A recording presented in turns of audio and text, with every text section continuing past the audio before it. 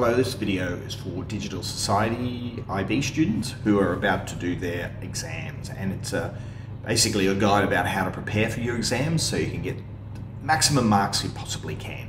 This video will focus on concepts which when it comes to the three C's I believe this one's the most important so if you're short of time this is the one you should really focus studying on. The main reason for this opinion is that for the 8 mark and the 12 mark question, they often ask you, ask the candidates to make reference to concepts. So sometimes they provide the concepts or a concept that you need to talk about in your, in your response to the exam question, or sometimes they say you choose it. So you need a good understanding of concepts if you want to get maximum marks for those uh, 8 and 12 mark questions. Anyway, uh, here we go. I'm in my in this website here, IB Digital Society if you're in the home page, it lists all the latest blog posts. So this is one I created yesterday, 21 hours ago. Uh, it's called IBDP Digital Society Exam Prep Concepts. Okay, so let's get started. Um, so you need to, uh, the first thing is have access to the seven different concepts. So change, expression, identity, power, space, systems, and values and ethics. Now, first and foremost, you need to have a good understanding of each of these seven, but you also need to be able to remember these seven as well.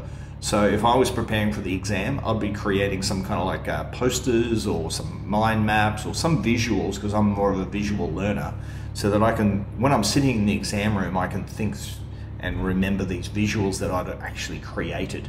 Um, now, why study concepts? Well, as I already mentioned, it's important for your examination success, but it's they're also you need to also refer to concept when you're doing your IA. In criterion A, you need to write a section about how your research question and your research topic is clearly connected to one of the concepts. So very important to understand the concepts. So in, in order of preference, I'd say concepts is number one in your exam preparation. Number two would be context. And number three would be the content. That's how I would prioritize them for exam preparation. Okay, now one of the main things about uh, digital society, uh, in fact all group three subjects, there's supposed to be a shift from student directed learning to student and teacher co-learning to student led learning. So if you're at the end of your IB journey and you've everything's going to plan, you should be able to self-study pretty easily um, so this is the focus of this. This is basically how to study, a guide for you to study so you're prepared for the exams. Okay, I've got five steps. The first one is have an understanding of each of the concepts. Um, so as per the guidebook, now in this website here, I've got them here, concepts. So step one would basically be looking through. So 2.1 has changed. There's seven different concepts. So the first one is change. So recall from your class activities, like how is change actually addressed? Then you can start reading what's uh, here. This is passage from the IB uh, guidebook, the Digital Society guidebook. So start reading through. Change is evolution. What is evolution? Do I understand evolution? Do I understand what transformation is? So this is you reading through them, and if there's anything you don't understand, do some research. So check your prior, uh, prior knowledge, do some research, and then if there's a mismatch, you fill in the blanks so you come to the, a better and a deeper understanding. Now, there's two parts here. There's the areas to study, A, B, C, and D, but then there's also some theories and frameworks. So we're going to start with just the first section, change A, B, C, and D. Now, just go back to the blog post. So first of all, I've said here, grasp every each of the seven concepts then once you've got a grasp of them, you need to should create your own working definition. Now I've got an example of this. So I created it here. Now I created this uh, working definition with the help of artificial intelligence and a little bit of research and a little bit of the Digital Society textbook as well. So this is from the guidebook. Now this is what I've created. So first of all, I've pulled everything apart. So first of all, what is evolution? So I go into detail here about what the evolution, what is evolution in relation to change? What is transformation in relation to change? So me coming up with these own de- definitions and creating these own de- definitions, they should get implanted in my brain so I'm ready for the exam. If the word change is mentioned and I have to write about change, I know I can I can talk about evolution, transformation, adaptation, these type of things. Um, so I did the same with the next one, 2.1b, the nature and importance of change. Now, by just reading, change involves examining people's, it doesn't really say much to me. Um, so therefore, you have to do a little bit of research. So I, I the simplest way I did it was, if I just copy and paste this, stick it in your favorite AI tool. I'm going to use Gemini. And basically, hang on, where's the prompt? Down here. Please explain what this means in relation to IBDP Digital Society. Put it in there. I'm just going to see what Gemini tells me about this because I don't really understand that.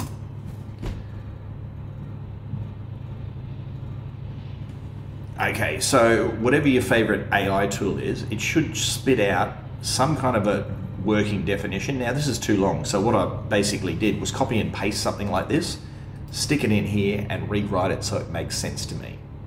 So that's the first step. Next step, let's go back to the plan. Step two, uh, I've said here you've got to memorize the seven. So that's what I'm talking about. This is why I'd create some posters or something some mind maps, whatever it might be, so some visuals that help. That that helps me memorize them. So you need to. Is there, is there some way you can?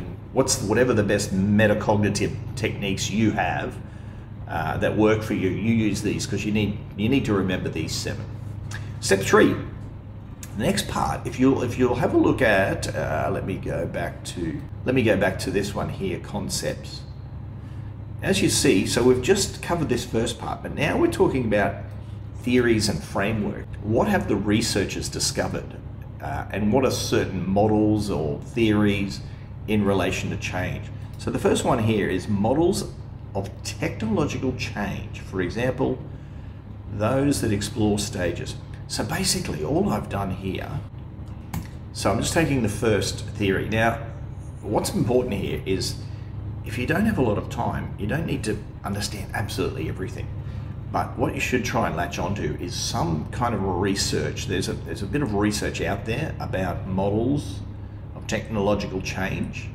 Do a bit of research, and there's some theories and ideas. Then uh, latch onto one that you kind of like and is easy to remember. So in the exam room, you could spit out some of the theories. Now I'll show you. So basically, take that. I'll, I'll demonstrate. I'll demonstrate. Copy that. Put it in. I'm going to use a different AI tool. Let's use Perplexity. I'm going to say, please explain or identify, I'm going to use identify theories and research related to that. Okay, what's it say? So models.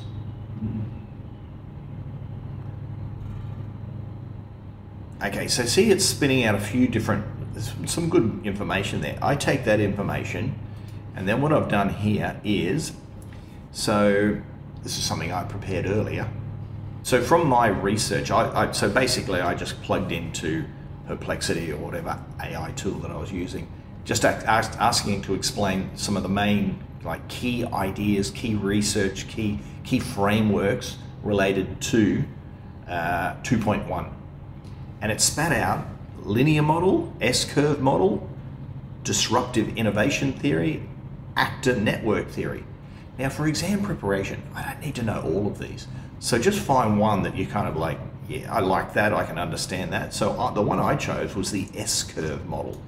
I have no idea what the S-curve model is, so I did some research. I found out what the S-curve model is, and it's about this picture here, and it actually makes perfect sense to me. It's this growth of when there's new technological innovations, there's that slow growth where the research is happening and, and, and things are, are, kind of a little bit challenging and diffi difficult to get started.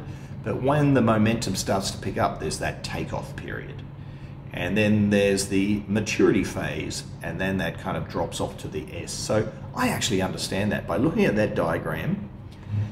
And I've also asked, this is what we need to do, is to provide real life examples. I actually asked uh, ChatGPT or somebody, some other AI tool, can you give me an example of a, a real life example of an S curve model? And it gave me electronic vehicles. It's like, that makes perfect sense to me and that I'm now prepared to go to the exam room. So if it actually the question pops up and says, uh, blah blah blah, here's the question, and you need to make a reference to a real world example, which is very common in, in the digital society exams, and you need to uh, make reference to one of the concepts. I can say, oh yes, I'm going to write about change. Change is you know evolution. Uh, transformation, this blah blah blah. I can also talk about some theories, the S curve model, and the examiners are going to read that and go, oh, this student really did do some research. They know about the S-curve model. Oh, and they're actually using the S-curve model to explain EVs or whatever the question is asking. So this is how you demonstrate your depth of knowledge when you're answering the questions. By knowing the concepts, by knowing some of the theories involved, and providing some real world examples. So let's recap. So first of all, grasp each concept. There's seven concepts. You need to understand them, have your own definition and understanding of each of the seven. Second, memorize them, the seven, the different seven. So you, if, if the exam exam asks you for one concept, you've got them. You've got them at your fingertips and you can remember them and you can recall them. Step three, research some theories uh, and also uh, look for some real life examples. Step four, well, step four is identify the real life examples. What I've actually suggested here, so when it comes to step three and four, I basically set up one page. So imagine you've got your one A4 page document. The first half of the page is basically the definitions and the explanation of that specific concept in this example change. The second part are some theories, like what, what are some theories that you could latch onto, uh, popular research or findings, and then in some kind of a real life example, actually, you know what, I'd suggest breaking up the page into threes. So the first third is your definition. Second third is some co common theories and research and findings and models. And then the third part will be your real life example. And then use a certain color. So this helps with the memory as well. So for me, change, I'm going to use green because I'm thinking of nature and nature changes. Next one I'm going to use is pink, or next one I'm going to use is blue. So you've got your then then you've got your seven documents, different color codes with some images too to help help with your memory. So you've got access to all seven concepts, and you're ready for those eight and twelve mark questions. Now, last step. Once you've prepared those seven different kind of uh, cheat sheets, uh, I don't want to call them cheat sheet. I don't, I don't want anyone to think about cheating, but you know what I mean. Um, one page document. You then read tech news. So look at any kind of a tech, tech news and then see if you can actually, so I've written the question here. Identify the digital technology. So this is helping you prepare for the exams. So look at any sort of technology news and I'll show you where to get that news a bit later. Actually, I'll do it right now. So if you look down the bottom of this blog post, I've actually got a bunch of links, which is which is a great place for sources of information, either current news about technology. In particular, this Twitter feed, this is my Twitter feed. If I'm, I, I read, you know, so I, each day I'm, I'm, I check the news for technology news, and particularly with AI, there's loads of technology news, always. Now today there was something about TikTok and the ban in the US. So, any interesting kind of uh, digital society related uh, news article, I'm, I share on my Twitter feed and I use the hashtag digital society. So, if you look at that hashtag digital society, it's a lot of me, a lot of good news articles that are related to digital society. So, if you were to take any digital society like this guy here. What's this all about? This article is all about how baseball explains the limits of AI. So read through some kind of an article like this, then go back to this practice question Then go back to this practice question. First of all, identify the digital technology. Is the digital technology AI? Is it something to do with the internet? Is something to do with the media? So this is the content of the three C's. This is the content. So that's the first thing. Identify the digital technology. Second part, discuss the impacts of this technology on various stakeholders. So if it's AI, now which how does it so there's the technology. I understand the technology. That's the content. Now how does it actually impact people?